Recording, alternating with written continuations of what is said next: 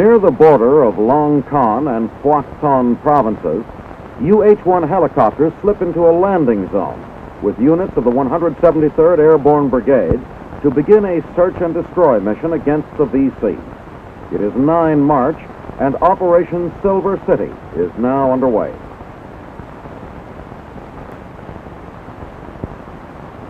This team gives first priority to inflating its pneumatic assault boat which it will use for river crossings and recon.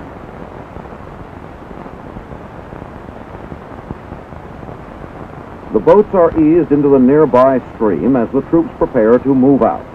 Both the Song Be and the Song Dong Nai rivers flow through the area searched during the operation.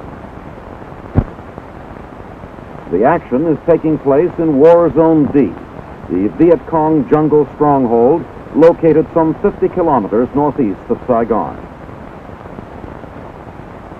Operation Silver City also involved elements of the 1st Infantry Division and the Royal Australian Regiment as well as troops of the 173rd. The two-week Allied sweep through the area was planned to hunt and kill or capture the enemy in the notorious Zone D, which the Viet Cong had controlled with virtual impunity for years.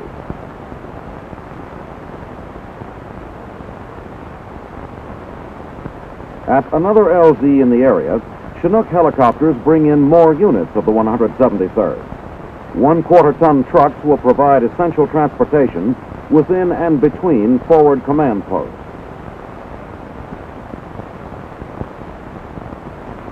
Meanwhile, other Chinooks arrive at pre-selected positions with weapons and personnel of 105 millimeter howitzer batteries. The howitzer crews lose no time in laying their weapons and preparing for fire missions in support of Operation Silver City. In addition to artillery support, numerous airstrikes and bombing runs were directed against the Zone D objective. In another part of the forest, elements of the 1st Infantry Division were filmed as they struggled against some of the natural hazards of jungle warfare.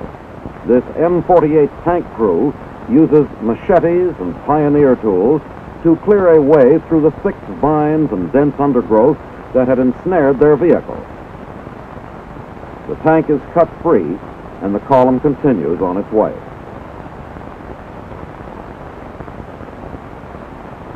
It is now four days later, 13 March, and the Allies are pressing Operation Silver City into the heart of Zone D.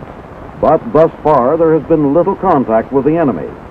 As the armor units proceed, they advance by echelon to provide flank security and avoid ambushes. Here, the demolished hood of a truck is checked for booby traps. About 25 meters off the route of advance, this unit of the 1st Infantry Division came upon a bombed-out VC base camp, which, seemingly, had included a fixed steel kitchen or hospital. The camp appeared to have been abandoned several weeks earlier. A nearby bunker is investigated and found deserted. Personnel sift through a few scattered papers left behind and keep those that might be of value to intelligence units. Then the unit starts forward again but soon halts when it comes to another VC bunker. After a white phosphorus grenade is tossed into the bunker, it also is found to be empty. Another halt occurs when a VC grenade is found lying in the roadway. A demolition man places a charge of TNT alongside the guerrilla munition and destroys the grenade.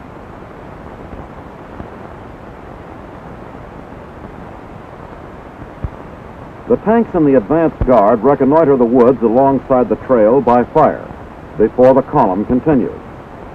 During the day, this unit made a five kilometer sweep through the area without contacting the enemy.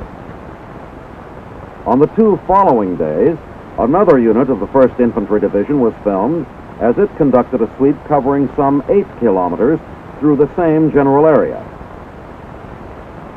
The sweep began at the unit's base camp, some 14 kilometers southeast of Phuoc Vinh, and extended northeastward to the Song Be River.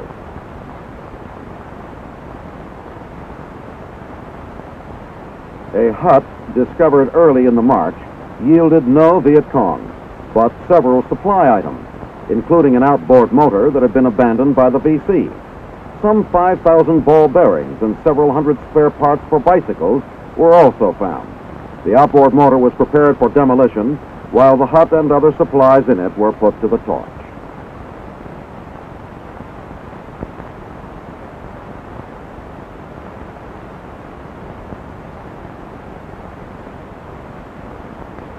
Some of the troops fill their canteens at a small stream, and then they forge ahead through the jungle.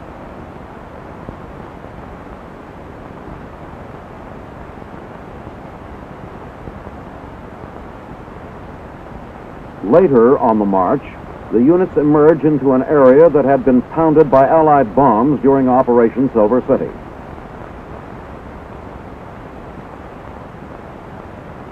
A rest break is called while unit leaders assess the damage to the area and check the location on their maps.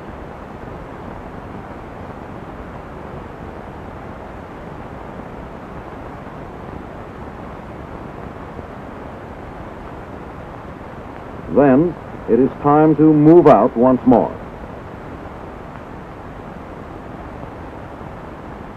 Late on the second day of the march, a smoke grenade is used to guide in a helicopter for a medical evacuation. There has been no contact with the enemy during the strange patrol, but combat operations under these conditions take their toll in many ways, including heat exhaustion. Meanwhile, other members of the unit begin clearing resupply LZs as this small early phase of Operation Silver City comes to its frustrating close.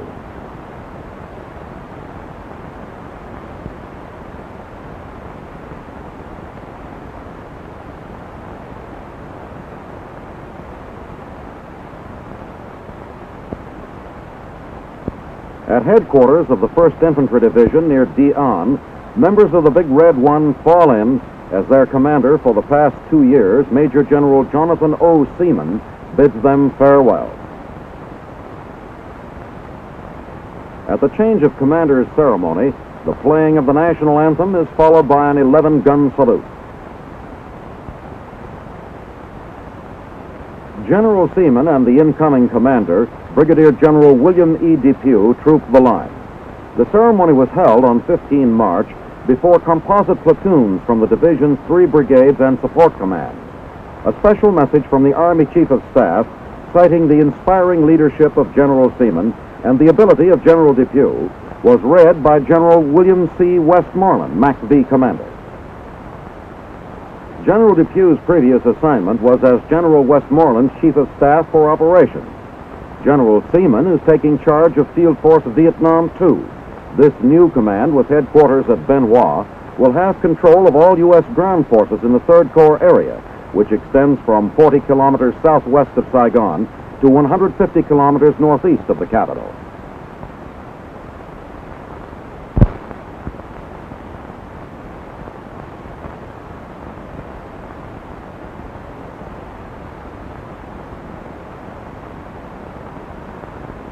Early in March, a shipment of bolts of material for clothing arrives in the port of Saigon for use by the MACV J4 Clothing Production Center.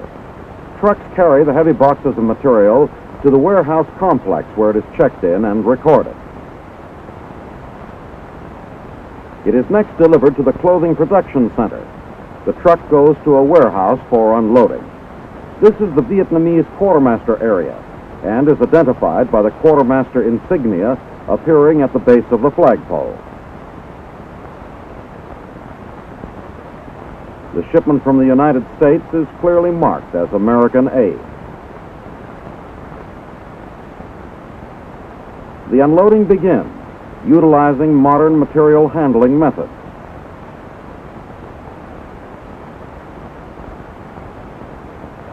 One box is opened for inspection by the Vietnamese officer in charge and the American advisor. The cutting shop also employs modern methods of mass production. The many layers of material are stenciled on top to form guidelines for the cutter.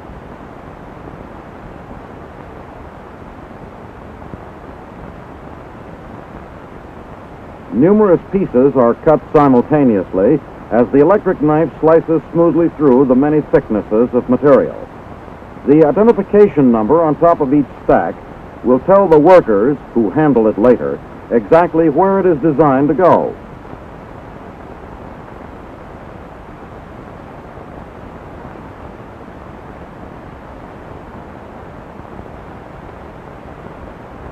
In another building, lines of sewing machine operators stitch the pieces together to form recognizable uniforms. The trousers and shirts take shape while moving through these machines.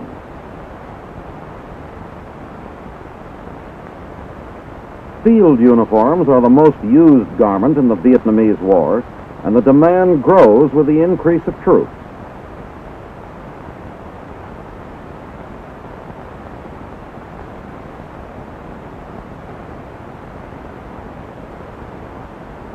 An inspector checks out each piece before stamping his approval on it.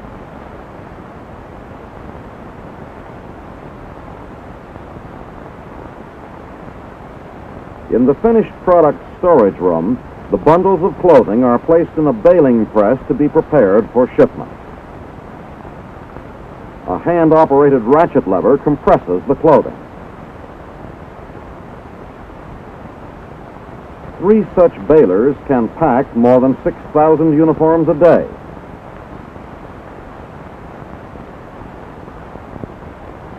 This is one of 150 items of clothing manufactured here. Current production at the Clothing Production Center is approximately 100,000 uniforms and 150,000 miscellaneous items of clothing and equipment per month.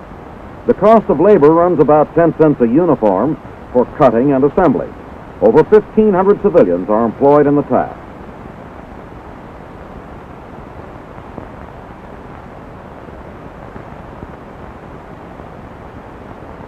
Here are 24 different uniforms for Vietnamese men and women in the armed forces. Both summer and winter issue are represented here in uniforms manufactured by the Clothing Production Center in Saigon.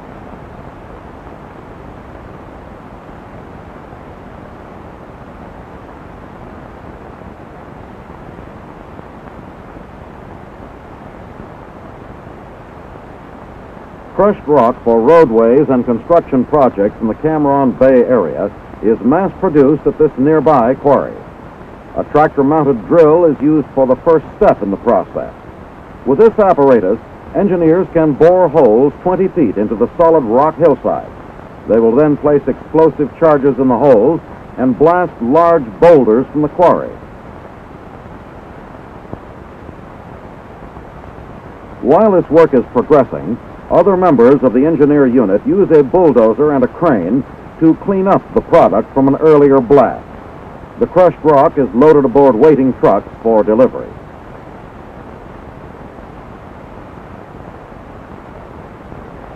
After the initial demolition, smaller explosive charges are placed on the resultant individual boulders. Heavy mud is tamped around the sticks of M2 dynamite to equalize the explosions and to direct their force downward into the large rock.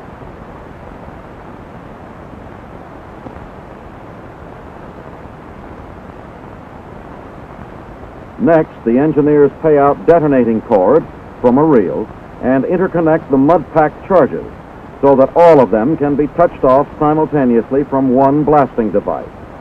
The det cord, which has an extremely high explosion rate of 2,000 feet per second, is itself set off by two blasting caps and an electric firing device.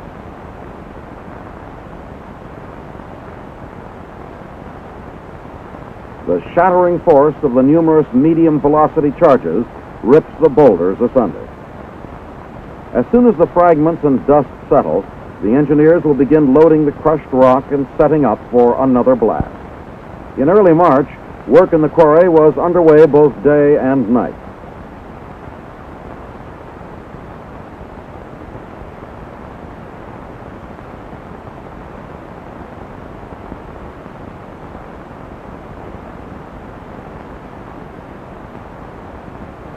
On 1 November 1965, the first bulldozer moved into this area near Phan Rang and began leveling the dry cactus dotted earth. Four months later, in early March, a modern jet airfield is nearing operational status here, thanks largely to a new surfacing material known as AM2. The all aluminum material, which is fast replacing the familiar PSP runways of World War II and Korean vintage, comes in 12 by 2 and 6 by 2 foot mats. The extruded aluminum sections with a cellular interior structure can be rapidly interlocked to form a landing field that will support the largest transport plane.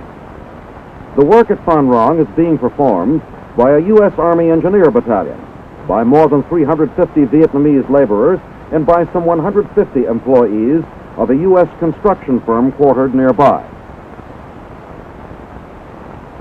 At the same time, construction is underway on other facilities needed to support operations at a modern jet airfield.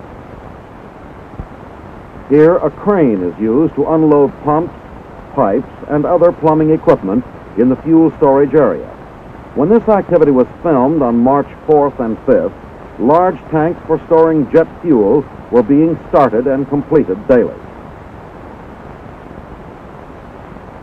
The Phan Rang airfield, located some 100 kilometers northeast of Saigon and about 30 kilometers southwest of Cam Ranh Bay, will be the sixth jet installation in South Vietnam. Its construction literally involved moving a mountain, more than one and one third million cubic yards of earth. Phan Rang became operational in mid March when a tactical fighter squadron of F 4 Phantoms arrived here from Holloman Air Force Base, New Mexico. Within eight months, Another 10,000 foot runway in concrete will be added, greatly increasing the field's capacity.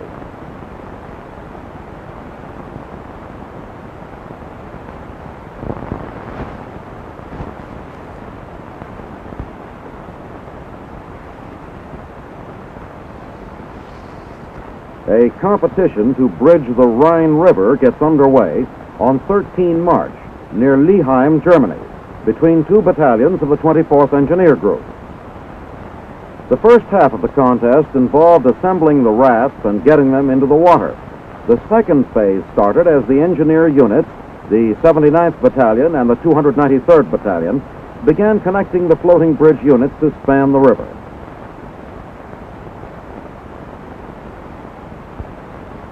U.S. and Allied officers observe as the contest progresses.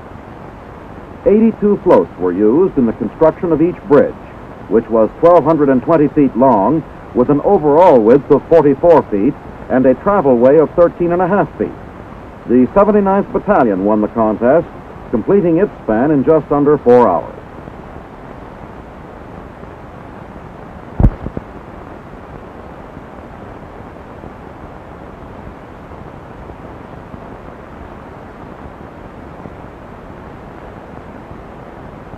His Royal Highness, the Prince of Luxembourg, is patron to a military sports competition based at the Herrenberg Kaserne in Diekirch, Luxembourg. It is the fifth time the International Council of Military Sports, CISM, has held its meeting in this country. Posters for the competition on 20 February are seen everywhere in Diekirch. Today's race comes in the midst of formalities and festive events running from the 17th to the 22nd of February. The military athletes of 10 participating nations line up before the day's program begins. Three lieutenants represent the United States in this competition. Only military men on active duty may compete. With the firing of the starting gun, the field is alive with movement.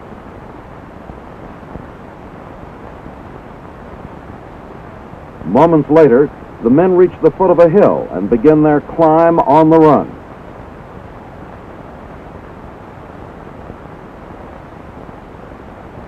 Their feet dig at the steep trail as they fight to keep their place. Then the trail becomes a flight of steps. These races are planned to follow the tradition of the military foot races of the soldiers of ancient Athens. Strength and staying power are tested to the limit in this race. El Gassi of Morocco streaks home first. By now, the contestants are well separated. The two top spots are won by Moroccans. Third place goes to a Spanish contestant. The military meet is considered successful in furthering the sport itself, in developing the character of the contestants, and in mutual understanding of the participating nations.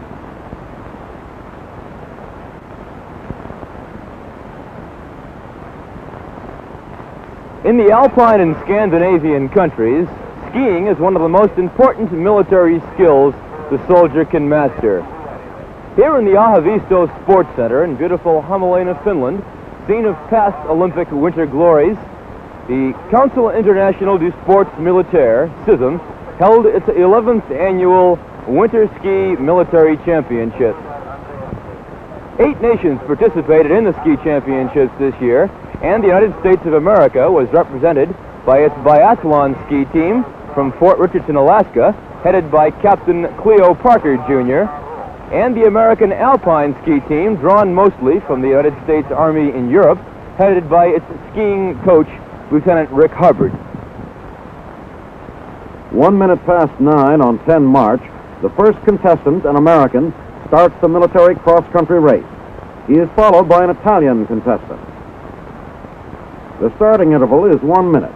At 9.17, contestant 17, an American, moves out.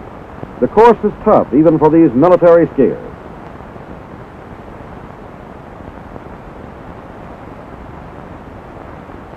Number 17 reaches the firing point. In the excitement and tension, a vital detail is almost overlooked. In the race against time, hazardous turns like this must be precisely judged.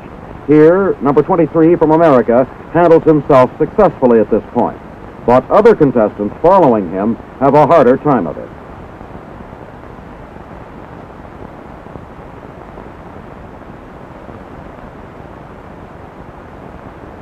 The finish line is reached in this closely contested international military event.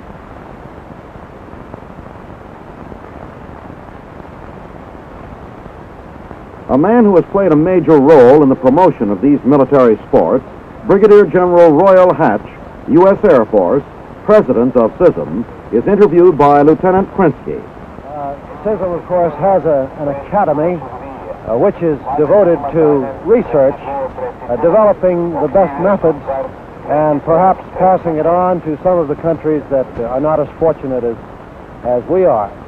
Uh, it has proved uh, successful in the study of boxing. Uh, we have had a clinic and, and developed ideas which may make the sport survive a little better.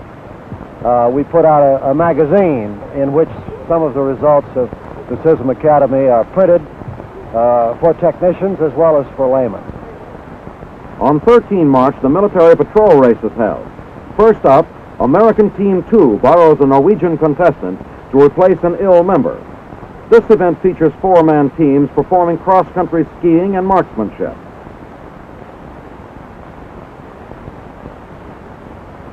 The lead-off team crosses a snow-covered bridge that is part of the course. Meanwhile, other teams continue to depart from the start line. Team 6 is American. An Italian team moves swiftly along the trail. A French team tries to gain on them. The first team reaches a firing point, well aware that their marksmanship is a vital part of the score. Eight countries are competing in this test of endurance and skill. At the finish line, the time of the teams is recorded. Later, it will be coordinated with the marksmanship records to determine the winners of the event. Colonel Robert Montando, Director of Special Services at the Adjutant General's office in Washington, was the senior American delegate to this year's CISM skiing competition.